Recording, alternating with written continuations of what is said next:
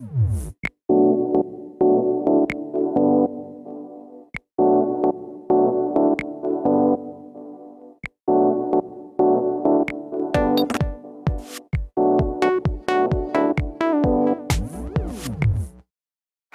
вечер, Гомель. На Беларусь 4 прямой эфир. Передача для тех, кто выбирает хорошее настроение. Дорогие друзья, вот любите ли вы романсы? Часто ли вы их слушаете, э, поете, ну, хотя бы в душе?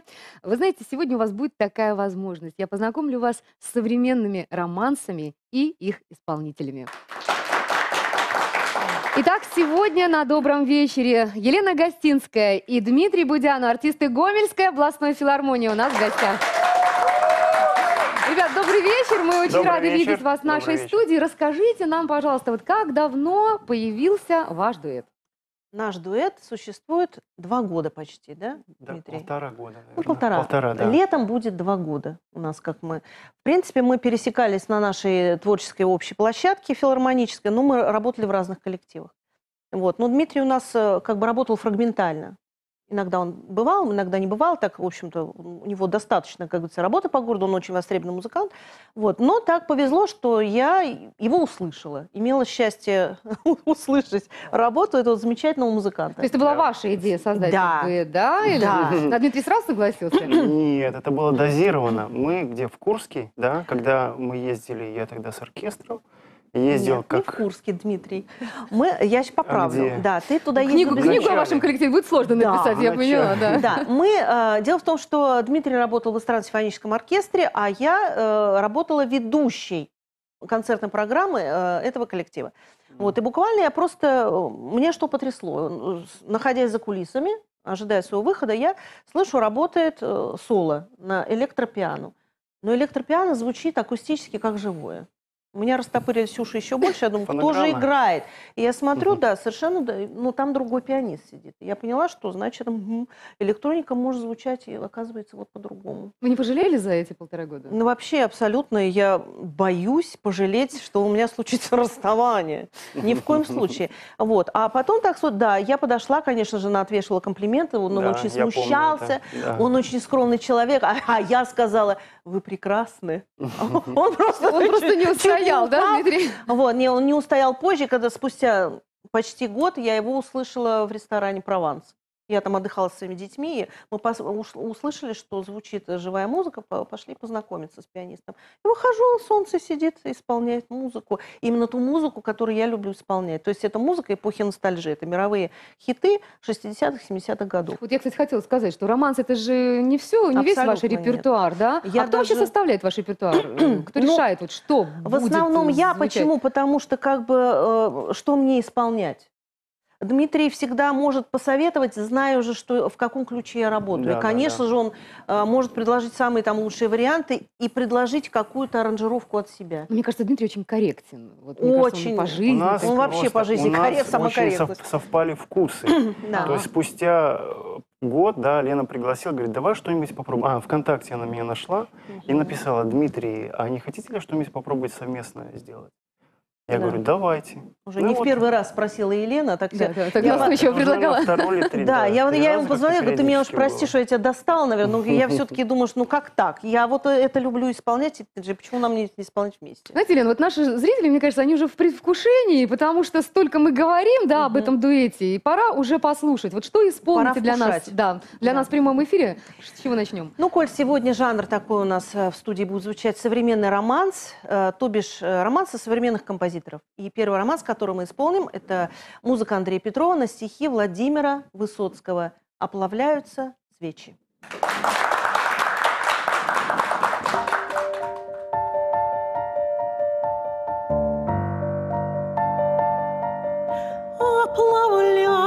Оплавляются свечи на старинный паркет И стекает на плечи серебро с эполет Как в огонь бродит золотое вино Все былое уходит, все былое уходит,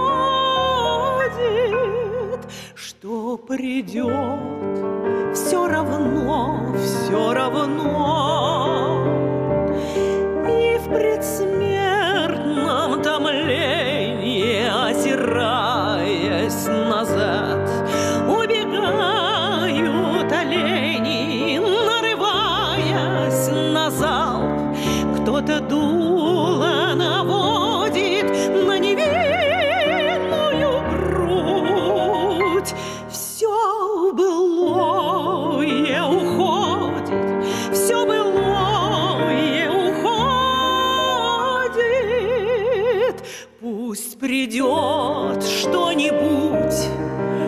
Что-нибудь.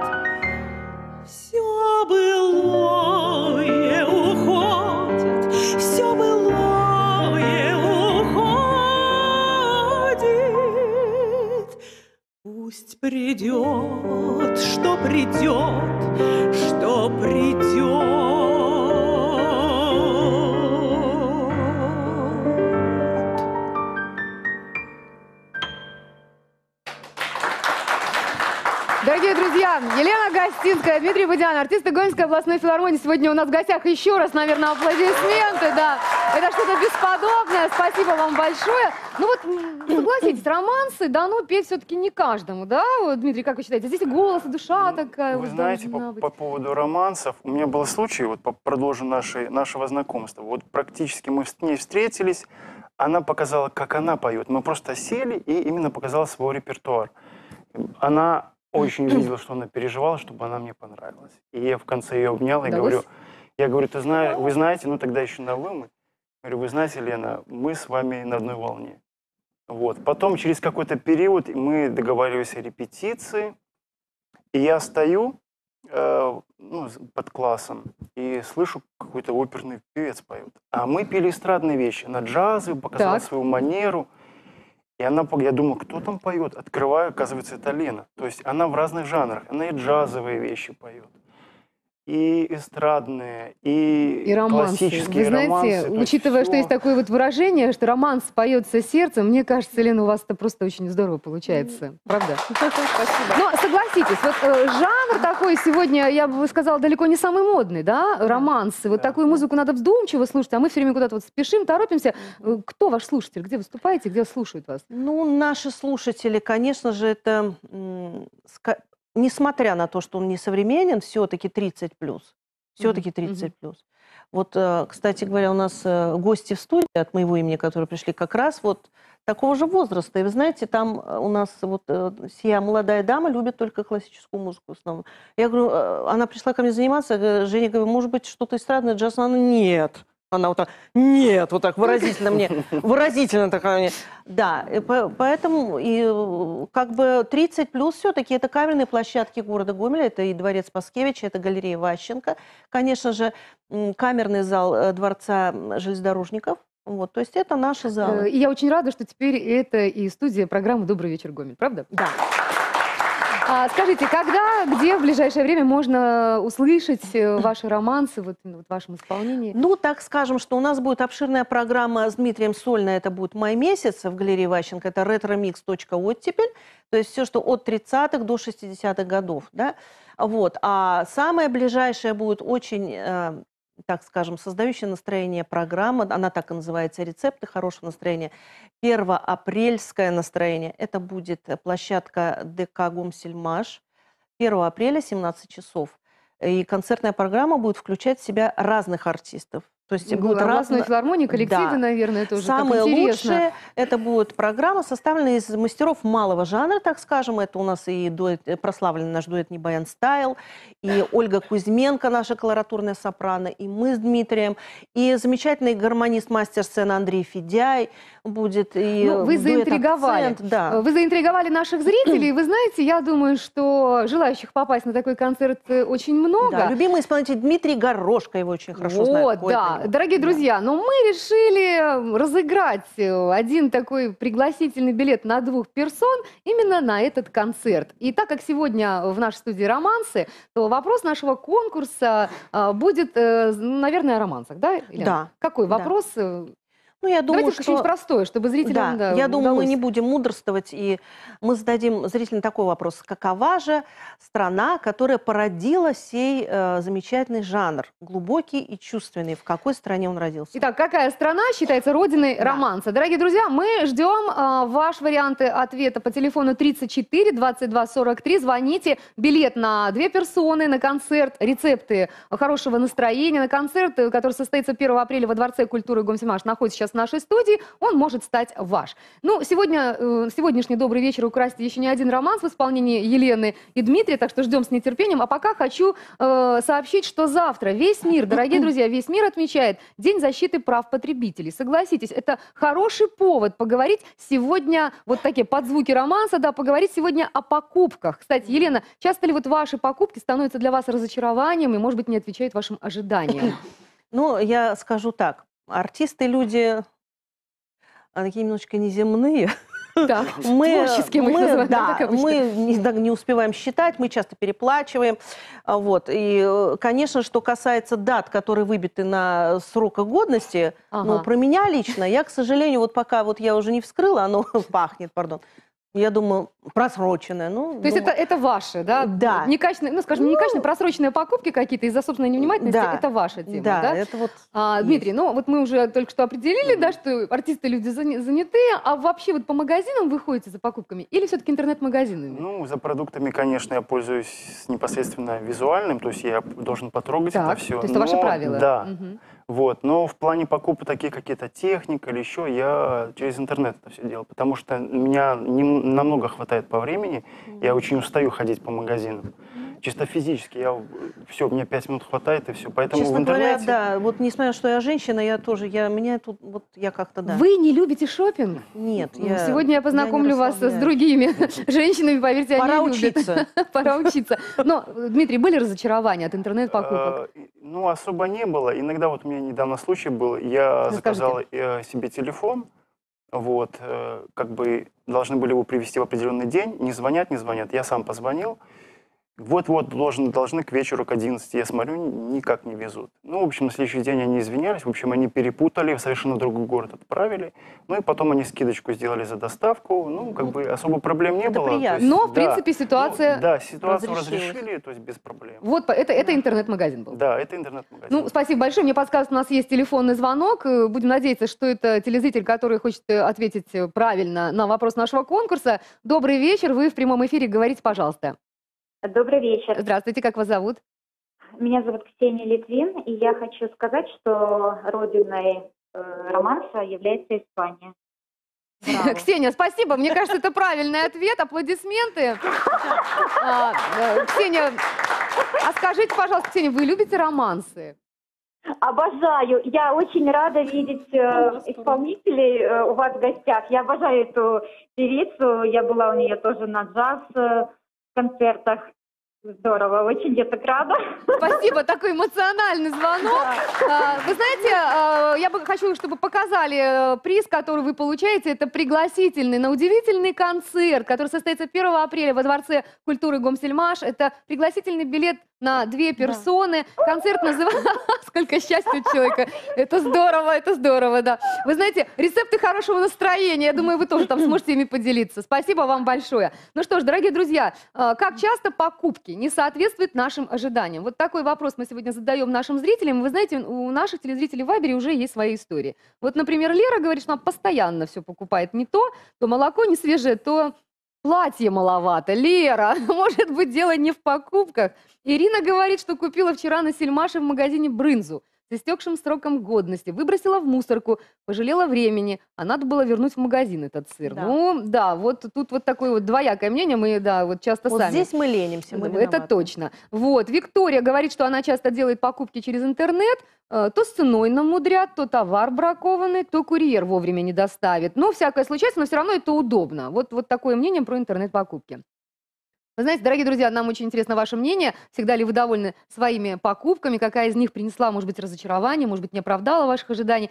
И вообще нам интересно узнать, где вы сегодня отовариваетесь, что называется, где вы сегодня покупаете все. В магазинах, на рынках, в супермаркетах или, может быть, в интернет-магазинах. Поэтому ждем ваших историй. Телефон студии 34 22 43. Оставляйте свои комментарии также в Вайбере. Ну и напоминаю, что по телефону прямого эфира вы можете задать любой вопрос нашим участникам, а также принять участие в конкурсе, который э, будет, но чуть позже. Э, вернемся в студию сразу после рекламы и продолжим. Добрый вечер.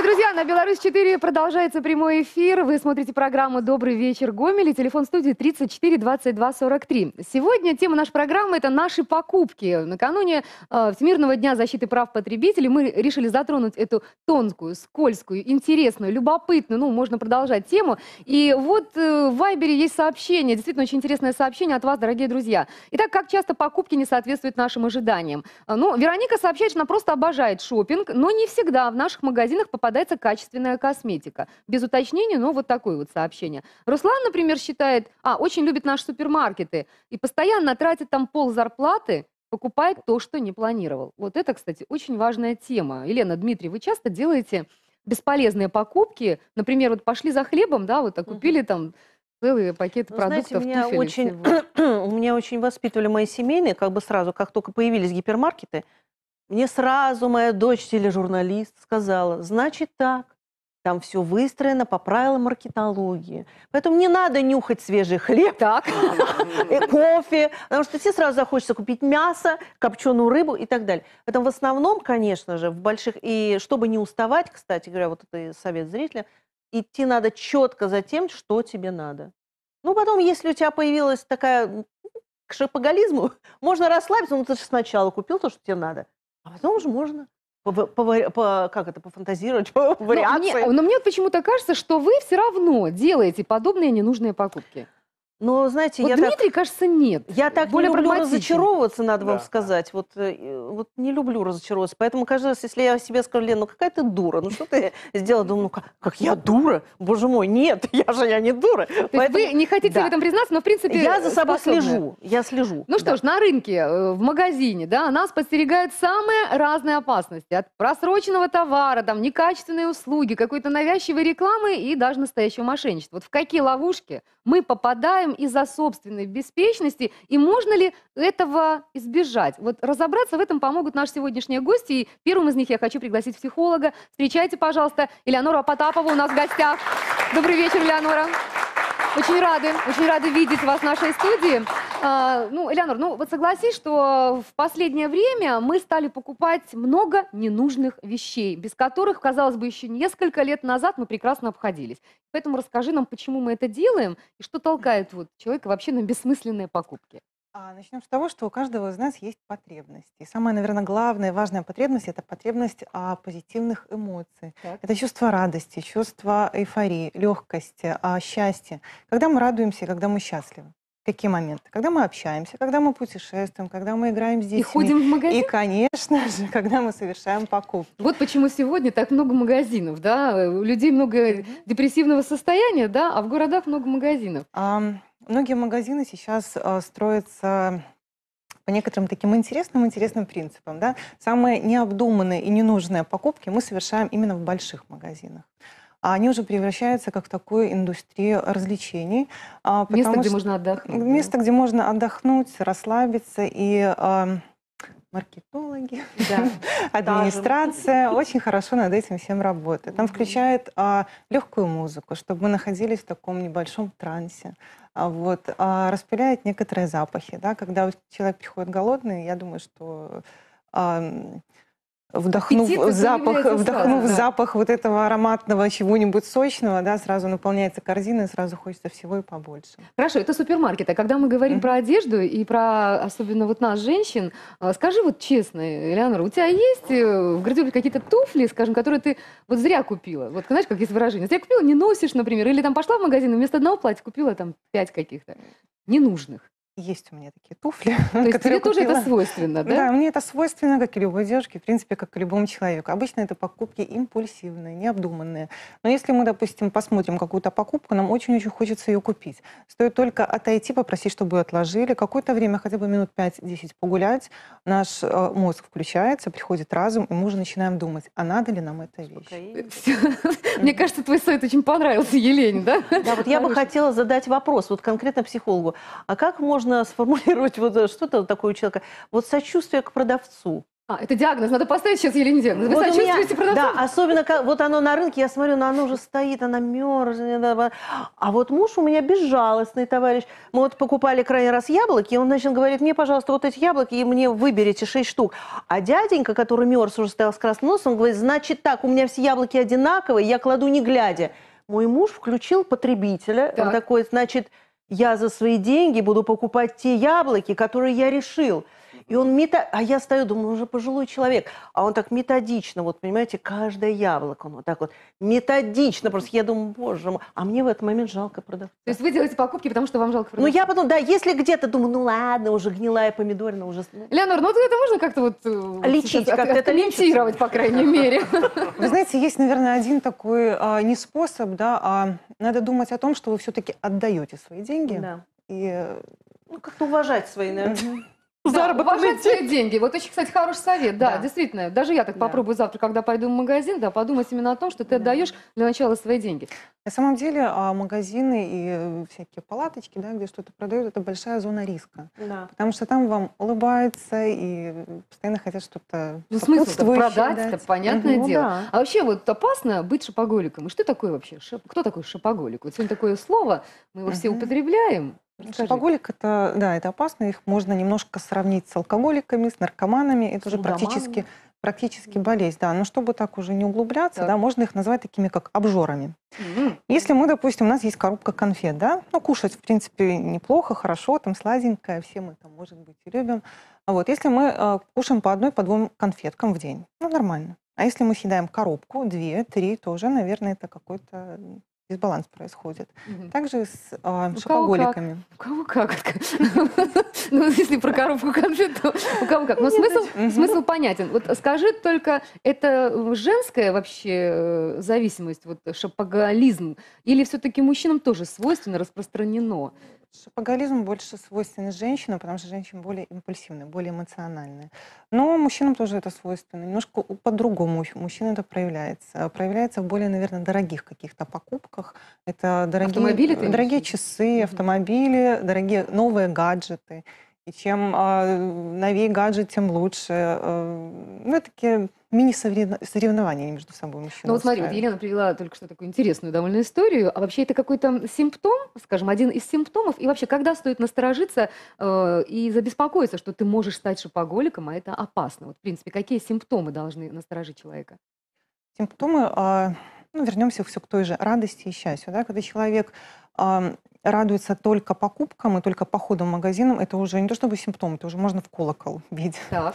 А вот, находить надо время на себя, на друзей, на какие-то походы, на какие-то развлечения, на музыку. На музыку, да. Мгм. Ходить э, в- Придумать, на концерт. э, придумать, да, хобби может какое-то. То есть разнообразить жизнь своими другими красками. Потому что а, покупки, да, это весело, это задорно, это радостно, но а, они заканчиваются, вся эта эйфория именно тогда, когда мы приходим домой и ну, сказка проходит. Денег нет.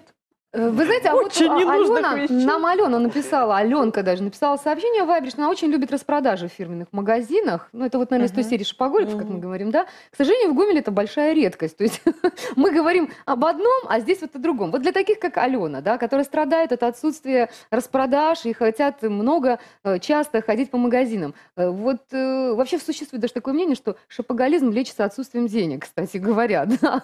Один из рецептов. На самом деле, на самом деле, Элеонора, Элеонора, а вот серьезно, как бороться с манией покупок? Вот когда здесь реклама, которая утверждает, что если ты не купишь этот крем, то ты никогда не будешь молодой и красивой и так далее. Как, э, как, вот где эта грань? Можно, конечно, поиграть в маленькую такую игру с маркетологами, да, и ходить и улавливать все эти ловушки, которые расставлены, и потом другим сообщать, что это может быть. Но лучше всего составлять списки. Списки покупок. Списки покупок, да, и это не только продуктовые покупки, но и касаемо одежды, и расписывать полностью, вплоть до того, какое молоко процентности вам надо, э, какие там еще могут быть продукты, да, и брать конкретную сумму денег, которая вам должно хватить именно на этот список, то есть больше не надо. Желательно расплачиваться, не пластик пластиковой, э, не пластиковой карточкой, а именно наличными. Потому да. что когда мы рассчитываемся пластиковой карточкой, то а, подсознательно мы не ощущаем потерю наших денег. Нам кажется, что ну что-то вот заплатили. То есть когда вот так отдал, да, тогда ты почувствовал.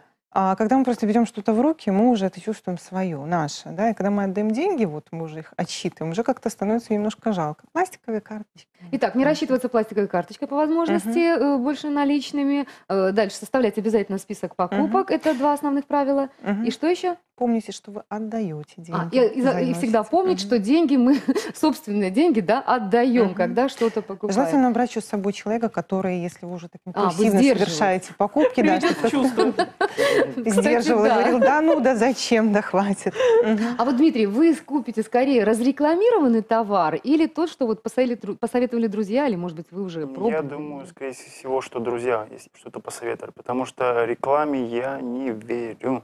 Обычно, я такое выражение недавно где-то прочитал, что рекламируется обычно то, что некачественно. То есть обычно... Ну, это спорное очень ну, выражение. Да, ну, на самом деле спорно, но в этом есть какая-то часть правды. Продукт надо продвинуть, значит, да. его надо стимулировать. Обычно вот люди сами, вот ты знаешь, вот такой есть классный там или аппарат, или там какая-то вещь, которая очень качественная. То есть, То есть вы на рекламу не ведетесь? Ну, Два процента могу повестись. Три процента. Хорошо. Да. Ну, хоть вот, ну, хоть, а то я уже думала вообще все по отдельно, думаю, ничего себе. Ну что ж, спасибо. Спасибо, во-первых, за откровение. А, накануне Всемирного дня защиты прав потребителей, дорогие друзья, вот мы сегодня в прямом эфире пытаемся выяснить, в чем же главная опасность шопинга и секрет удачной покупки. И разобраться в этом нам помогает психолог Элеонора Потапова. Аплодисменты. Да. А вот э, романсы сегодня в нашей студии исполняют артисты Гомельской областной филармонии Елена Гостинская и Дмитрий Будянов. А, вы знаете, совсем скоро в нашей студии появятся новые гости. Поверьте, это будет неожиданная встреча, поэтому оставайтесь с нами. Ну а пока самое время разрядить обстановку. И предлагаю послушать романс. Елена, вот что сейчас услышат наши зрители? А сейчас прозвучит э, романс из кинофильма «Раба любви. Где же ты, мечта?» Музыка Эдуарда Артемьева, стихи Натальи Кончаловской. Где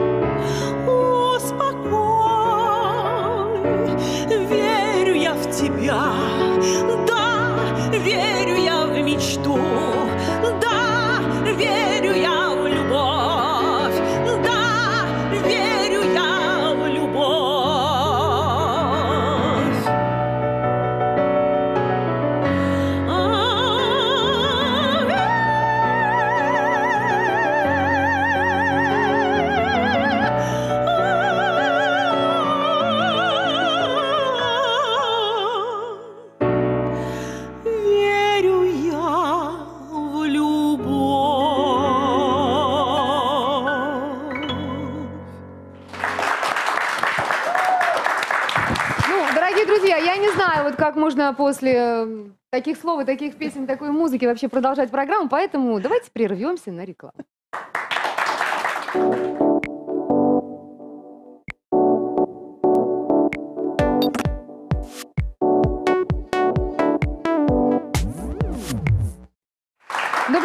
Гомель. Мы продолжаем прямой эфир. Завтра день защиты прав потребителей. В этом году он пройдет под девизом «Потребительские права в цифровую эпоху». Поэтому сегодня мы говорим о покупках, но под звуки романсов. Дорогие друзья, вот интересно, как часто товары из интернет-магазина не соответствуют вашим ожиданиям? Нам очень интересно ваше мнение. Звоните в студию, телефон прямого эфира 34 22 43. Далее мы поговорим о том, как недобросовестные или ну, неграмотные продавцы пользуются тем, что вот покупатель, например, не знает своих прав. Дмитрий, вот скажите, вам, например, приходилось, ну, допустим, купить обувь, которую пришлось там обменять, там, которая не подошла, разонравилась. Была такая Ну, у меня такого история? опыта не было, Елена. к счастью. Ну, у меня было только вот на, у себя на родине в России, надо сказать. Да. Но в любом Было. случае вы столкнулись да, да, с такой И ситуацией? надо сказать, что почему-то вот продуксо- продуктовых продавцов мне жалко, а вот продавцов обуви мне не жалко. Ну хорошо, а вам, э, э, вы знаете, например, в какой срок у нас э, можно обменять обувь, которая, допустим, не подошла по размеру? Если знаете, только не говорите этот Хорошо. ответ, но вы знаете. Ну, я предполагаю, что я верно знаю. Дело в том, что мы сейчас объявляем следующий конкурс. Да, и, дорогие друзья, внимание, вопрос очень легкий, на самом деле. Мы хотим просто проверить вашу потребительскую грамотность. В какой э, срок можно обменять обувь, которая не подошла вам по размеру? Если вы знаете вариант ответа или не знаете, но догадываетесь, звоните по телефону прямого эфира 34 22 43. А вот правильный ответ сообщит э, председатель общества по защите прав потребителей, который совсем скоро появится в нашей студии. А пока мы ждем ваших телефонных звонков и насчет приза. Приз победителю, автору правильного ответа, предоставляет сегодня Гомельский дворцово-парковый ансамбль. Это единый, поверьте, уникальный, единый билет на посещение Дворца Румянцевых и Паскевичей. Все четыре этажа, вот представьте только зимний сад, да, успальница, башня, обозрение. Вот все это можно посетить по этому единому билету. Поэтому звоните 34 22 43. Так, напоминаю вопрос, в какой срок можно обменять обувь, которая не подошла вам по размеру. Ну, а мы продолжаем разговор о покупках. И прямо сейчас я хочу пригласить в студию председателя Гомельской городской организации общественного объединения «Белорусское общество защиты прав потребителей». Встречайте Людмила Ивановна Бешенко. У нас в гостях. Людмила Ивановна, добрый вечер. Здравствуйте. Рады видеть вас в нашей студии. Присаживайтесь, пожалуйста. Вы знаете, вот мы решили проверить потребительскую грамотность наших телезрителей и ну, задали, наверное, самый э, такой простой вопрос, в какой же срок можно обменять обувь, э, которая не подошла по размеру. Вот пока мы ждем ответы, э, расскажите, много ли вообще поступает сегодня обращений к вам и на что чаще всего жалуются потребители? Обращений через интернет? Нет, вообще просто любых, в А, том ну, числе и через интернет. Ну, много обращений, конечно. Э, Часть из них это товары в реальном мире, часть это товары в А э, в интернет-покупки, интернете вот насколько они увеличились жалобы по, э, скажем, таким покупкам сегодня? Ну, в реальном мире больше жалоб, скажу так. Мы сейчас продолжим. Мне подсказывают, у нас есть телефонный звонок. Добрый вечер, вы в прямом эфире. Я так понимаю, это автор, наверное, ответа. Узнаем, правильного или нет. Слушаем внимательно. Говорите, пожалуйста. Алло, 14 дней. Да, давайте познакомимся сначала. Ну что же вы, ну что же вы так все взяли вот быстро? и- Э, Как вас зовут? Меня зовут Татьяна. Татьяна, скажите, пожалуйста, ответьте нам еще раз на вопрос, какой срок можно обменять обувь, которая не подошла по размеру? В течение 14 дней. А вам приходилось сталкиваться вообще с такой историей? Приходилось обменивать да, обувь? очень часто. Серьезно? Вот почему вы знаете этот срок. Вы знаете, э, я так понимаю, это правильный ответ, раз вы уже отреагировали. Ну что ж, э, билет, единый билет э, во дворец Румянцевых Паскевичей ваш. Спасибо вам большое за этот звонок и эти аплодисменты тоже. Оказывается, наши зрители грамотные. Это, Да, это очень, молодцы, радует. это очень радует, да. Вот давайте вернемся к интернет-покупкам. Вообще, что это за жалобы чаще всего? Ну, чаще всего люди, когда совершают покупки в интернетах, не смотрят, э, у кого покупают товар. Может быть, э, сайт один, а потом товар приходит, э, продавец оказывается юридически другой. Либо вообще отсутствует юридический адрес продавца. Через интернет-магазин некоторые сайты планомерно дают недостоверную информацию. То есть заводят потребителя да? Специально, заводят потребителя в заблуждение. Э, либо преувеличивая потребительские свойства, либо как-то их изменяя, чтобы А, то есть- потребители покупали, поку- совершали эти покупки. То есть ее нельзя потрогать в интернете, и поэтому Да. мы таким образом как бы обманываемся. Обман покупателя, что запрещено законом о защите прав потребителя. Ну вот недобросовестные такие продавцы Ну, пользуются какую-нибудь историю можете сейчас вспомнить, например, из последних, на что жаловались вообще гомельчане? Ну, например, отпариватель для штор. Так, как рекламируют, ты проведешь, и Так. все, и сразу у тебя новенькие шторки. Вот звонит потребительница и говорит, а я провожу уже не один раз, уже пять раз, а они никак ни, ничего с ними не происходит. а вот действительно, а как быть такой ситуации? Вот пообещали вроде как э, гладкие шторы, да, но и вроде тебе пара очиститель работает. А как вот быть? Вот что тут можно сделать? Ну, э, надо как каким-то образом... Надо каким-то образом делать экспертизы, подтверждать. Нет, ну сначала, во-первых, потребитель должен обязательно обратиться к продавцу с претензией, Так. сказать, что ваш пароочиститель не работает, вы обманули меня, пожалуйста, верните мне деньги или поменяйте мне товар. То есть обратиться обязательно письменно. Если уже когда отказал тебе продавец, тогда Письменно уже должен отказать тебе тоже да, продавец. да, Мгм. да. Ну, э, поначалу, то тогда можно обратиться за производством экспертизы куда-нибудь, хотя бы органу, который может подтвердить органолептически, не проверить там какие-то свойства сложные, органолептически действительно не работает, и написать об этом какое-то заключение. Это заключение отправляется продавцу, и потом можно вернуть товар. Часто возвращают? Не всегда, Не всегда. Но вы, в принципе, содействуете этому, да? Да, объясняем, ну, что потребитель должен делать. А, Людмила Ивановна, а какие вот ошибки мы, вот обычные люди, когда, которые ходим в магазин, которые заказываем в интернете какие-то товары, какие ошибки мы чаще всего совершаем вообще? и, на что бы вы хотели обратить внимание? Те же самые чеки, гарантийные талоны в интернет-магазинах или вот, допустим, какая-то навязчивая реклама. На что? Что конкретно должно э, насторожить э, нас? Что интернет-торговля, что реальная торговля, а- одинаковые правила. Проблемы разные. Если кто-то хочет Ага. задать вопрос, я расскажу, А вы как знаете, из каждой проблемы выйти. А вот сейчас нам зададут, наверное, вопрос. Мне подскажут, у нас есть телефонный звонок. Добрый вечер. Вы в прямом эфире. Говорите, пожалуйста. Ага. Алло. Да, здравствуйте. Как вас зовут? А Меня зовут Анна Семеновна. Да, слушаем вас внимательно. Э, Мы вот несколько дней назад в линии, то есть в Евроопте, вот в гипермаркете, купили э, овсяные хлопья Лидского Лида, город Так. Лида. Мы раньше брали, все время были хорошие, а это я сварила на молоке кашу, ну вот кашу по утрам, например, да, Ну. и практически есть было невозможно, настолько она прогорклая. Так, и что вы сделали? Вы съели ее, выбросили? Мы птичкам Съели, я бросили. поняла. То есть, а Пошли почему, гулять и бросили птичкам. а чего, а почему Ну, вы не вернули, не вернули в магазин эту кашу? Ну, не знаю, что-то не сообразили вернуть. А срок щас годности просто- проверили?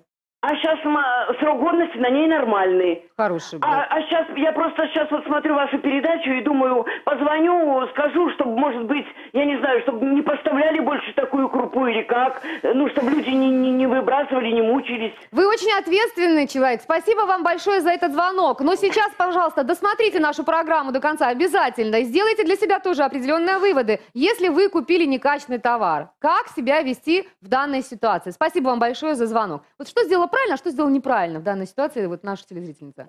Конечно, э, если потребителю не понравилась каша, он в первую очередь никуда ни в какие инстанции не надо звонить, жаловаться, нужно пойти в магазин и сказать, что вот этот товар, вот я считаю некачественный.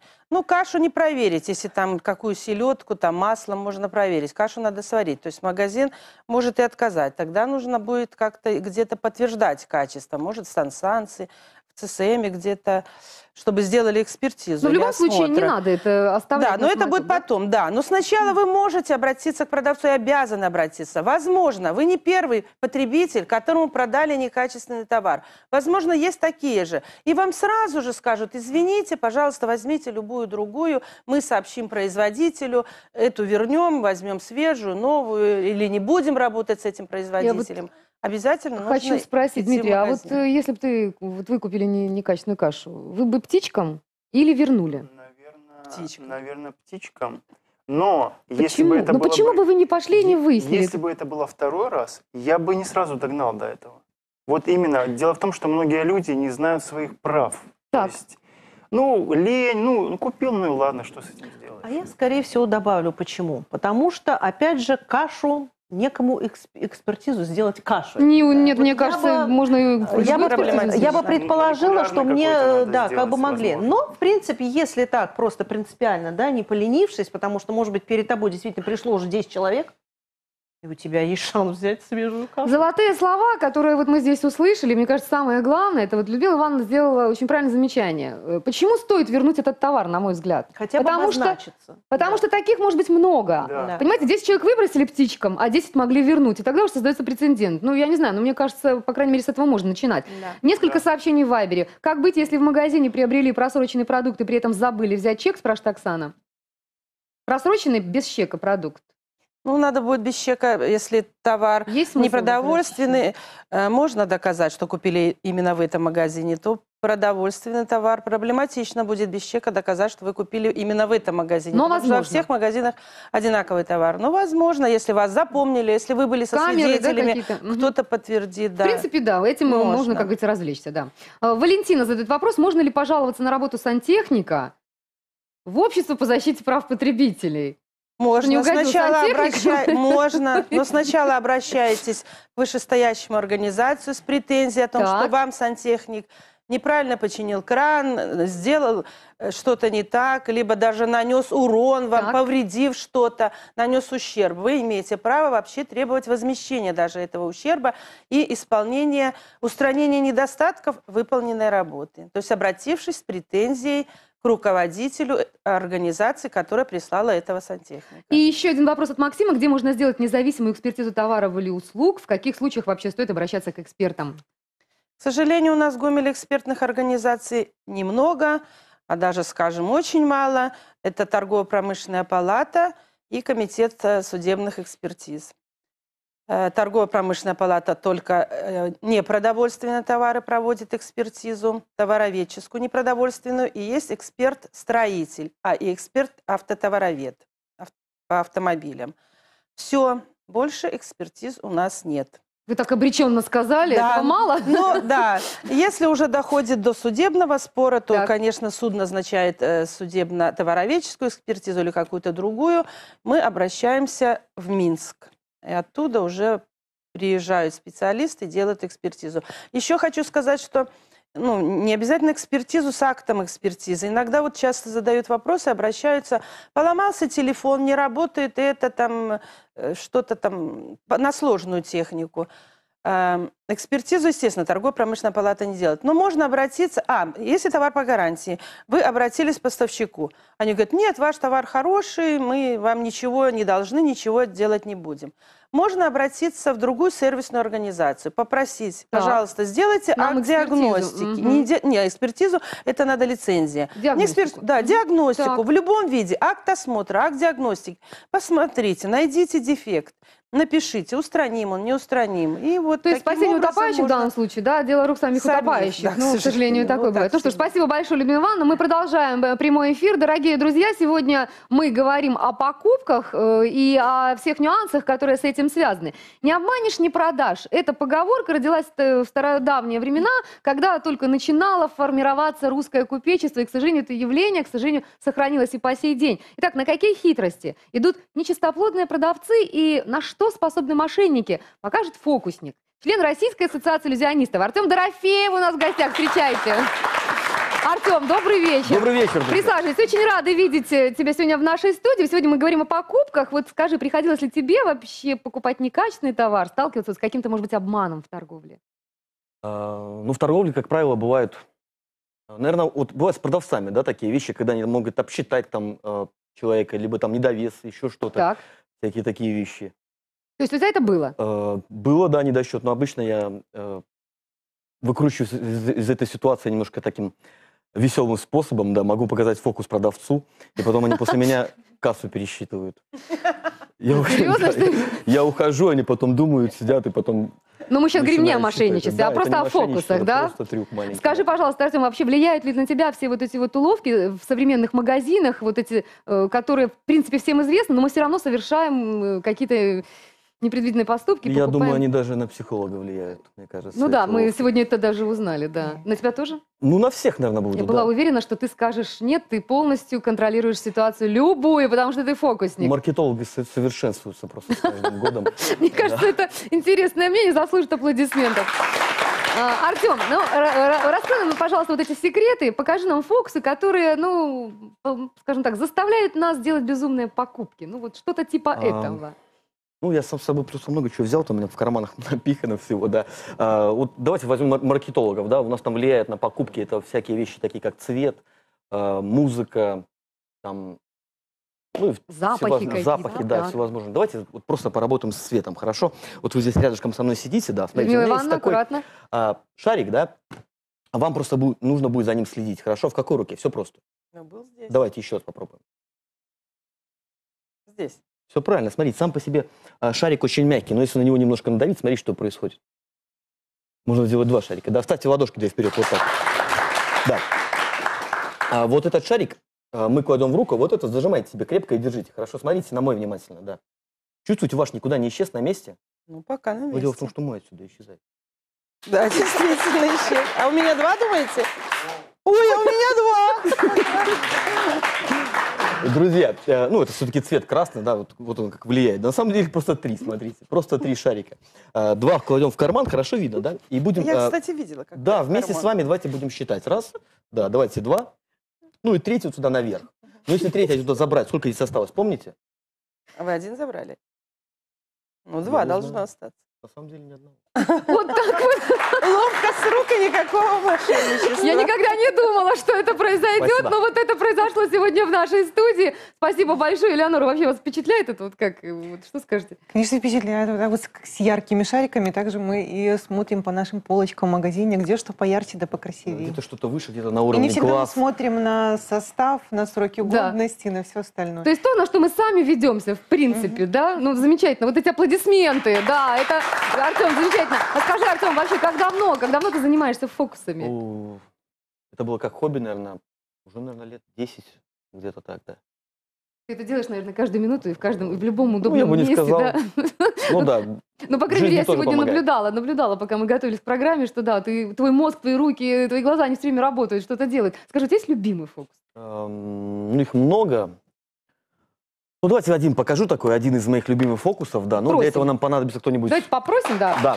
Э, Кто-нибудь из гостей, вот э, из э, зрителей, вот, ребят, кто-нибудь, кто хочет поучаствовать, просто поднимите ручку и все. Ну, смелее. Вот, ты хочешь поучаствовать? Пойдем, выходи сюда. А, проходи, становись вот здесь рядышком со мной. А, как зовут тебя, скажи? Настя. А, Настя, смотри, все просто. У меня в кармане есть э, колода карт. А, возьми ее в руку, приподними вверх ее, в левую ручку бери, левую, да. Приподнимай вверх на вытянутую руку, вот так вот. И держи до конца этого фокуса, хорошо?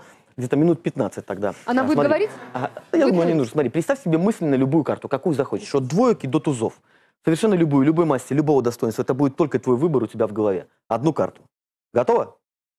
Хорошо, теперь представь, что ты мысленно ее переворачиваешь в этой колоде. Мысленно переверни ее так, чтобы она была не похожа на все остальные, с помощью мыслей. А, ну, допустим, рубашкой вверх. Получилось, да? Смотри. поддержим. Называй э, всем вслух карту, которую ты здесь перевернула. Шесть креста, да? Ты удивишься? Смотри внимательно, я буду делать все очень медленно. Дело в том, что в этой колоде а, единственная карта, держи упаковочку, э, которая здесь перевернута.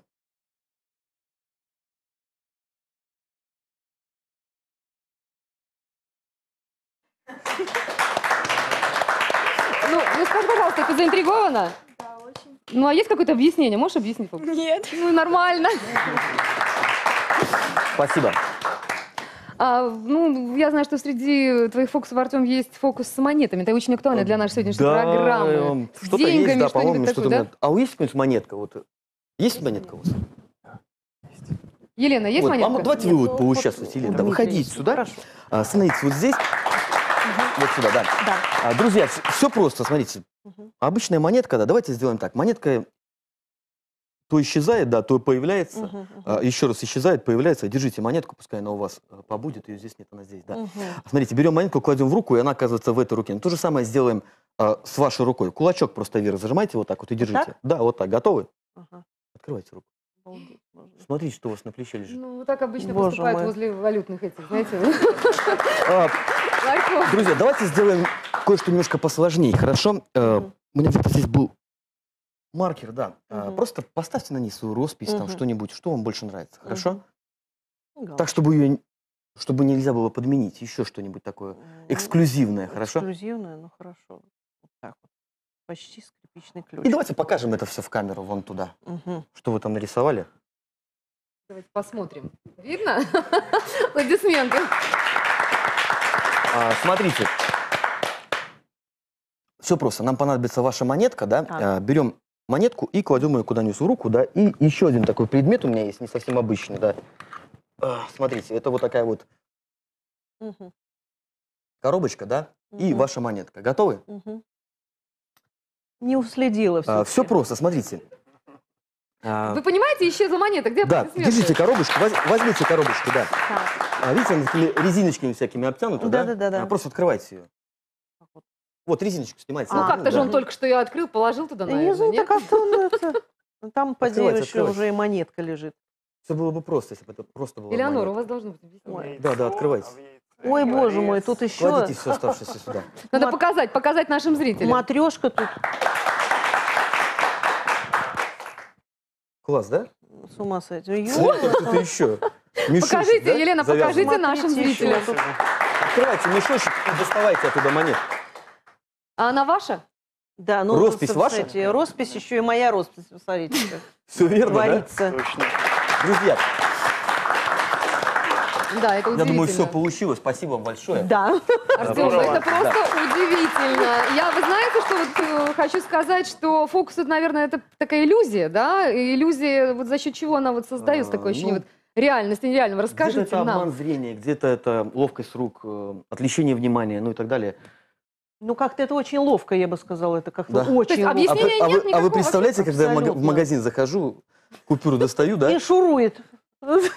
Вначале одни, потом вторые, потом продавцы сидят такие и чешут. Это чешем, да, можно. Смотрите, это, это дело Да. на самом деле очень опасное, как мне кажется. А, нет? давайте мы, раз мы уже затеяли такую Главное тему вовремя фокусов, да, остановиться, а, да. давайте еще один маленький трюк покажу, я как раз С собой удовольствием принес. посмотрим. Мгм. Но для этого фокуса, так как у нас такая актуальная тема, это деньги, покупки и так, и так далее, да, а у кого есть купюра 5 рублей, ребят? 5 есть? Вот, пойдем, выходи сюда, А, проходи, становись вот здесь рядом со мной. А, как тебя зовут? А, Данил, смотри, все просто. А, можно твои 5 рублей? Да, открой их и скажи всем вслух номер купюры, последние три цифры хотя бы, так, чтобы я не смог подменить ее в дальнейшем. Да, можешь полностью номер продиктовать, как тебе больше нравится. АЕ 322863. Все, отлично. Хорошо, смотри. И а, давай сделаем так, чтобы эта купюра была не похожа на все остальные. Вот, держи, поставь на ней свою роспись. Где тебе больше нравится? Вот можешь на столике вон там аккуратненько, да. А эта купюра будет уже в музей или... А, да, да, да, да, да. Да? В банке можно обменять. Все, готово? А, смотри, а, купюра с твоей росписью, все верно? Всем хорошо видно, да. И номер купюры ты уже всем сказал вслух. Держи купюру, она нам сейчас понадобится. Но перед фокусом я тебе кое-что дам. Смотри, А у меня есть вот такой вот мешочек. А, Там кое-что лежит, но что лежит конкретно, мы узнаем чуть позже. Хорошо, возьми купюру, э, ой, точнее мешочек левой рукой вот здесь. Приподними вверх вот так вот на вытянутую руку и держи до конца этого фокуса. Хорошо? Да. Давайте поможем мне. До, ко- пока до конца эфира. Смотри, а, купюра с твоей росписью, все верно? Готов?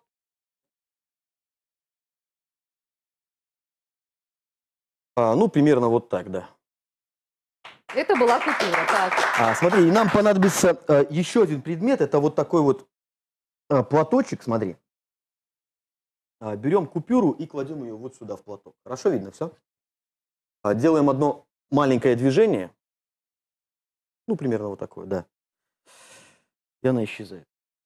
А, друзья, ну вот так я примерно в магазине делаю, да. Даже боюсь Да. представить, где А смотри. А к мешочку меня я не тоже нет. прикасался, все честно. Да. А, в руках ничего нет. Нет. Дело в том, что в мешочке, смотри, есть сюрприз для тебя. Это а, вот такой вот ножичек. И еще один предмет, друзья, это а, вот такой вот апельсин. А, смотри, нет никаких секретов, все честно. Дело в том, что, ну и такое бывает. Смотри, в апельсине сюрприз. Да ну. Если оно еще и в апельсин... За, это Елена, вы, вы представляете? Да ну. А, просто Ну, крути его. ну да. это уже Откручивай, вообще- откручивай. Крути, крути, крути, еще. Открывай. Это даже не Ребят, да матрешка. ну. Так, подождите, покажите, Доставай. покажите, пожалуйста, всем зрителям телеканала «Беларусь-4». Это купюра, да, в апельсине. Доставай, доставай, проверяй, да. Артем. Самое интересное даже на самом деле, вот, не, вот что на ней написано, Да. она написано будет. Да, клади микрофон, проверяй. А он в шоке немножко. Он просто не понял ничего. Я даже боюсь Номер представить. купюры. Все верно, да? Роспись твоя? Артем, Друзья, давайте я похлопаем. боюсь. А, в магазине принимают, не переживай, я уже проверял не раз, поверь. Артем, я боюсь, вы знаете, я боюсь представить, что так происходит приблизительно и в магазинах, вот так как с этими Да. фокусами у тебя. Скажи, ты позволяешь разоблачать какие-то трюки или Эм. нет? Или это... м, Как Ну, вообще вообще- реагируешь, когда вообще просят? это а все просят всегда, профессиональная по-моему, да, тайна, ну, как бы. Смысл. Ну, у, говоря. у Елены до сих пор вот такие глаза, как и у наших зрителей. Ну, как-то в апельсине это было вообще. Так вас и монета удивила, по-моему, Очень Елена, меня, да? уди- меня вообще удивило все. Вы знаешь, Артем, спасибо огромное. Эти аплодисменты для тебя. Спасибо, есть над чем задуматься. Не, Оставляй. А, Дорогие друзья, итак, я напоминаю, что в прямом эфире «Добрый вечер, Гомель». Наша программа уже подходит к концу. Вот такой удивительный финал, который в шоке. Действительно, наши Да. зрители и в студии гости, и, по-моему, даже Леонора, наш психолог, тоже находится в некотором... Нет ли Леонора? Магия. А, магия. Но в любом случае, завтра, 15 марта, завтра Всемирный день защиты прав потребителей. И вот какими будут ваши пожелания покупателям и продавцам? Артем, Будьте честными друг другу. очень хорошее пожелание. Кстати говоря, о честности, да. Людмила Ивановна, что вы пожелаете покупателям?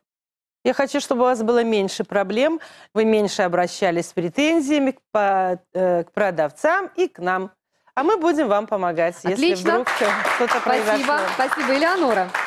Черпайте положительные эмоции не от покупок, а от самой жизни. Общайтесь, дружите, а, путешествуйте, развивайтесь, найдите Ну, себе какое-то А хобби. покупки по необходимости, да? Что-то типа этого. Ну и, конечно же, ваши пожелания нашим телезрителям сегодня.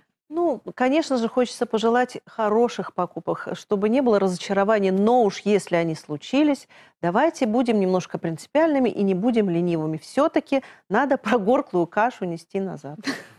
Вот такой вывод.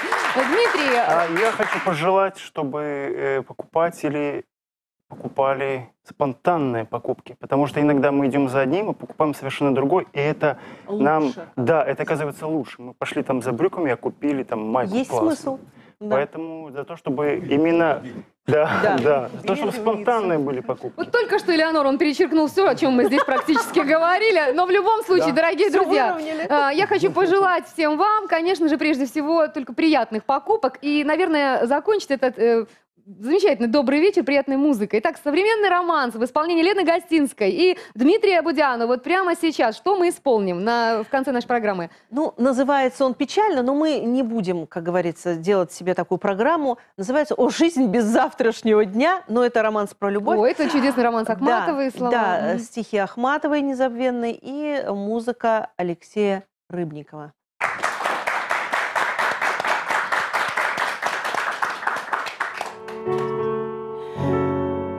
Жизнь без завтрашнего дня.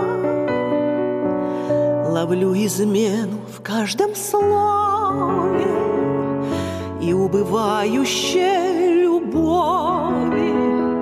Звезда восходит для меня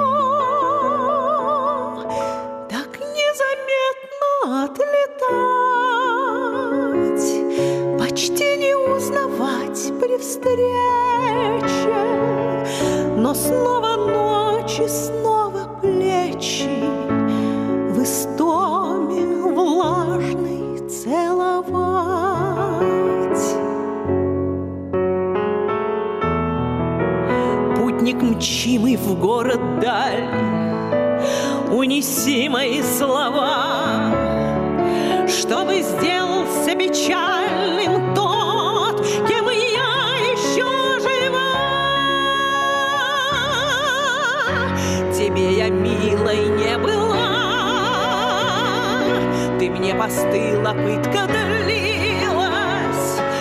преступница томилась, любовь исполнилась.